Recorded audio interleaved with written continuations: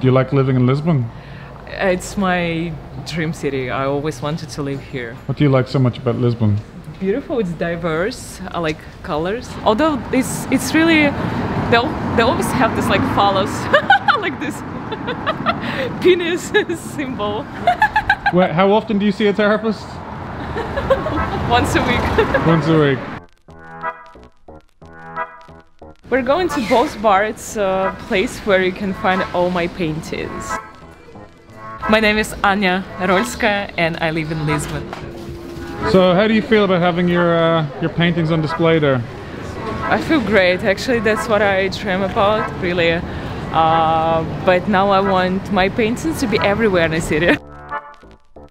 This street reminds me uh, actually Asia because I live in Asia in Singapore for half a year. You're an artist as well. Mm-hmm. Mm-hmm. I But couldn't tell. so what do you write about?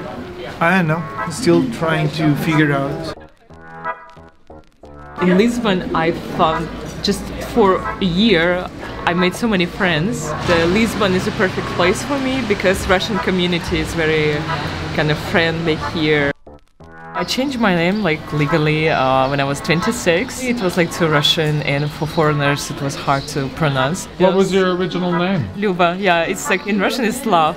Together with this name, I really wanted to get rid of all the memories and kind of build my life from from scratch. This is uh, about my process. I discovered uh, Dyson, the hair dryer. so fun, really, so much fun. Are you addicted to social media? I, I am, I am. I sleep with my phone. It Feels like orgasm. What did you say? I said it feels like orgasm. like that yellow, like lemon, that almost like a poison for your eyes. I like how this yellow and red and blue and, and these flowers how they match. Let's see what, what it is. I never imagined myself as a mother, but I always imagined myself like um, at exhibition, a lot of people around me to celebrate your talent, to celebrate your success. And now we're gonna open this door.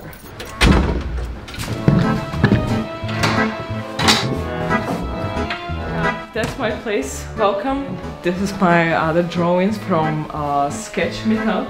This is a part of my dress with acrylic paint. I think I was with some guy and I was like, I don't want you in my life. I like colors and so unpredictable. If you, if you don't like it yourself, if you're not comfortable living with your own paints, and so how other people gonna like it? That's me with my grandparents. Yeah, I look very happy there, happy kid. I was actually selling these postcards there and I, I made my first like dollars. I was paid with dollars. Like sans serif, serif and kind of script. I draw kind of paint abstract on a wine bottles. I do calligraphy already for four years and uh, I'm really enjoying giving workshop. Seeing people learning new skills, it is what makes me happy. I was always insecure about my body because I was fat kid, as I said. And uh, now with COVID, I started work out with my personal trainer. And I'm so proud of myself because my body was always uh, something that I was ashamed of. It means a lot to me. It's my personal achievement. I'm proud of it more than, uh, I guess, my, my paintings. Do you uh, like rain? Yeah, I do love rain, but not when it's in my tea. but for me, it's been the best year of my life when I finally give up all my fears and start doing what I love. And I just, I feel like I found myself, finally.